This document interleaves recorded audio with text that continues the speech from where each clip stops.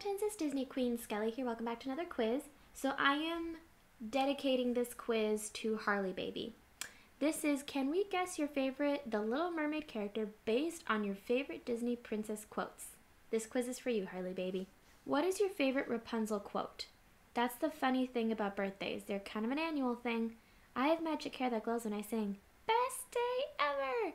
Haven't any of you ever had a dream? I'd say best day ever because that entire scene cracks me up. What is your favorite Jasmine quote? I'm not a prize to be won. I'm a fast learner. Unhand him by order of the princess. Your beard is so twisted. Ugh, the scene. um, I think I would like to go with I'm not a prize to be won. What is your favorite Ariel quote? All right, Harley baby, I'm sorry if I offend you with my favorite quote. Don't be such a guppy. I don't see how a world that makes such wonderful things could be bad. You're not going you're not getting cold fins now, are you? What's that word again? Street. Okay. Um, I would say don't be such a guppy. That's a cute one. What's your favorite Mulan quote? Reflect before you snack. Act. My ancestors sent a little lizard to help me. I have to do something. You said you trust Ping. Why is Mulan any different? Ooh, that's a good one. That is a good one. What is your favorite Merida quote? Again, Harley baby, I'm sorry if I offend you.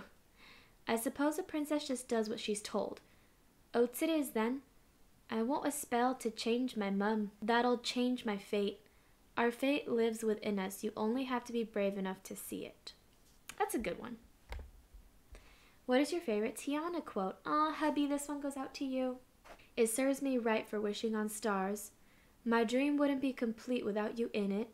The only way to get what you want in this world is through hard work. You just kiss yourself a princess. I like you own the only way to get what you want in this world is through hard work. What is your favorite Belle quote? Well, some people use their imagination. What do you know about my dreams, Gaston? Thank you for saving my life. It is you. I want to say thank you for saving my life. What is your favorite Snow White quote? I'm sure I'll get along somehow. Everything's going to be all right. Anyone could see that the prince was charming, the only one for me. There's nobody like him, anywhere at all. What's the matter? Cat got your tongue? I'm sure I'll get along somehow. Everything is going to be all right. What is your favorite Pocahontas quote? He wants me to be steady like the river, but it's not steady at all.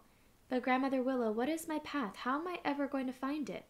This is the path I choose, Father. What will what will yours be? I'll always be with you forever.